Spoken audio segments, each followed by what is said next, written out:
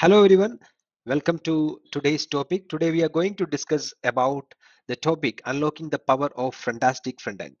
The Frontastic is a frontend for Commercetools and uh, today we are going to discuss on the benefits, features and a comparison of Frontastic with other JavaScript frameworks and why it is benefit to build an e-commerce application which have a commerce tool as a backend.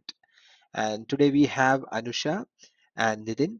Both of them have an experience in Frontastic and they will be going to discuss on this topic. Over to you, Anusha. Hi everyone. Today I'm going to speak about Frontastic, unlocking the power of Frontastic, front-end for commerce. Here, I've listed out few advantages of Frontastic. Headless commerce frontend. Frontastic is designed specifically for managing e-commerce application on top of headless architecture. Coming to next point, design system. Frontastic provides a design system with predefined layouts. Coming to next point, content management. Frontastic includes content management feature which makes easier for managing and updating data. Performance optimization. Frontastic is optimized and it it ensures fast and efficient loading. API integration. Frontastic allows seamless integration between front-end and the back-end, cloud-based. It's obviously a cloud-based technology, reducing infrastructure burden. Automated builds. Frontastic when it builds, it pushes the code to the master branch and it's been ready for deployment. Coming to next slide. Here, when we compare a normal framework and a Frontastic framework, the header component is being built very easily in the Frontastic and the routing has been done very easily when compared to other frameworks.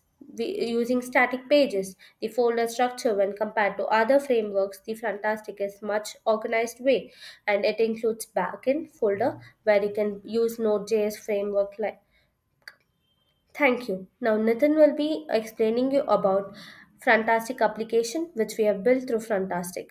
Thank you. Hi everyone, my name is Nitin and I'll be taking you through the Frontastic Studio and rest of its feature.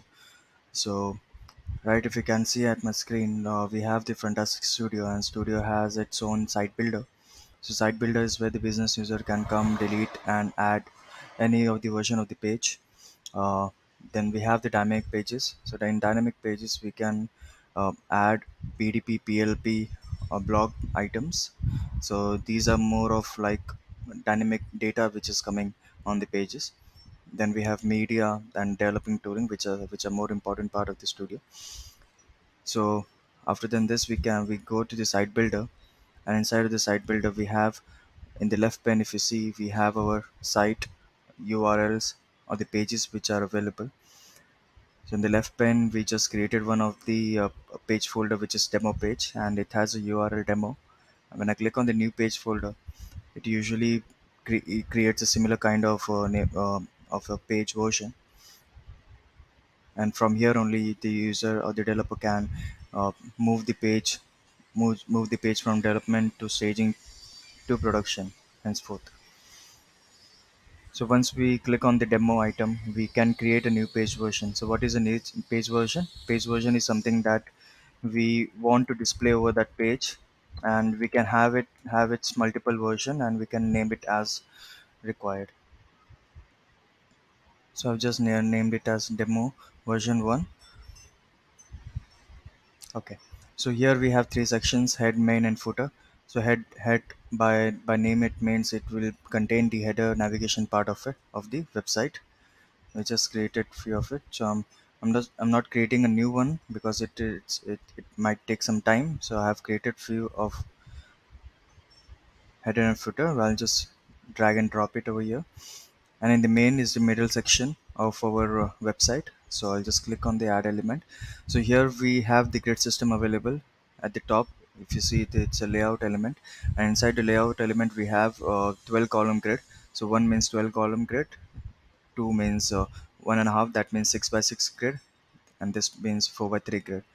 So I'll just select the one and inside of this one I can just drag any of the items that I've created as a part of our component. So I'm just adding home page over here and then we have our link that I can add. I can put anything over here, whichever link I want to name it to, and save.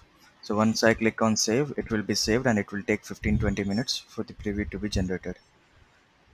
You can also click preview over here.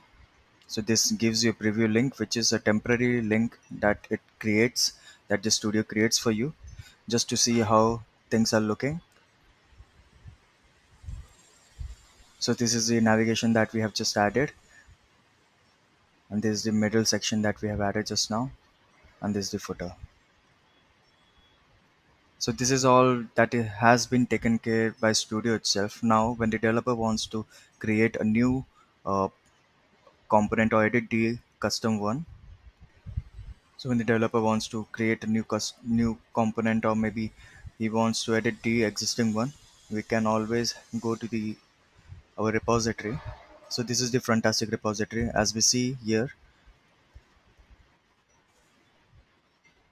we have a lot many pre-built components available from the team Frontastic which can be utilized. And also we can create our own if needed.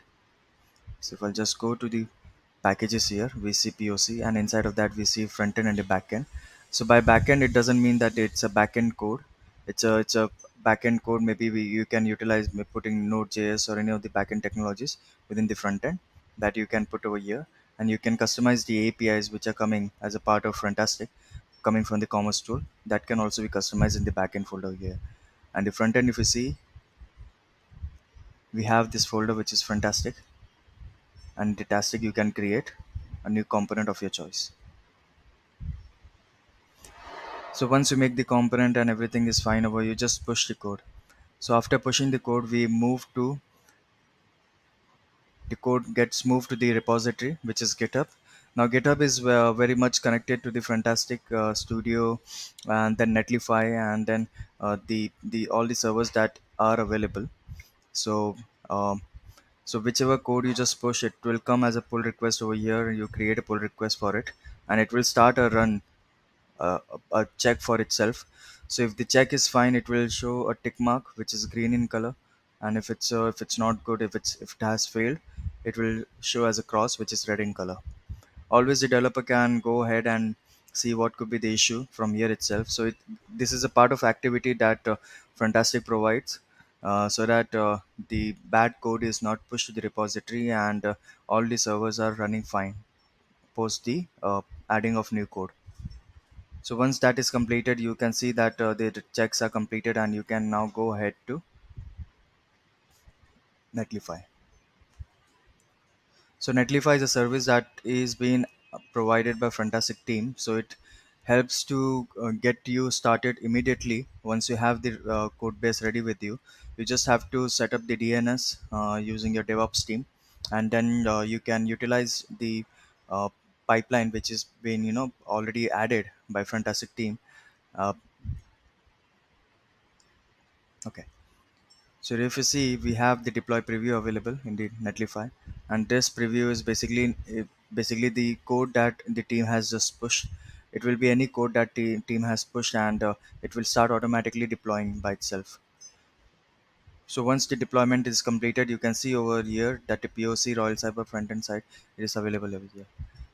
So this link will be generated, and once you click on it, you will land up to the, the site that has been deployed.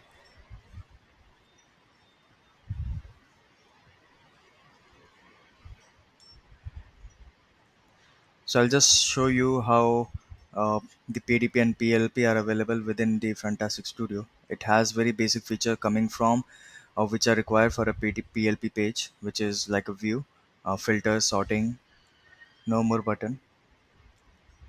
So when you click on any of the item, it will land you to the PLP page. So I've just deployed the site, so it's running some, giving some error. So that is uh, the PDP and PLP page. So, so once this is completed and you just have added the Frontastic code, um, now you want to deploy the fr- Frontastic backend code. What you can do is you can go to developer and from here you can go to deployment and from the deployment you can see here we have backend deployment as well as front-end deployment. So front-end deployment is basically been taken care by the netlify but the backend deployment you um, it has to be triggered manually.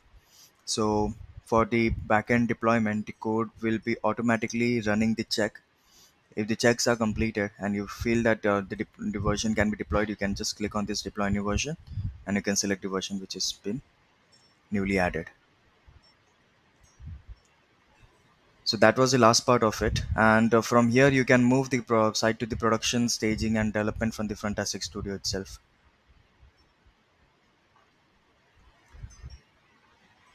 So that was all about the Frontastic studio and what we have to present.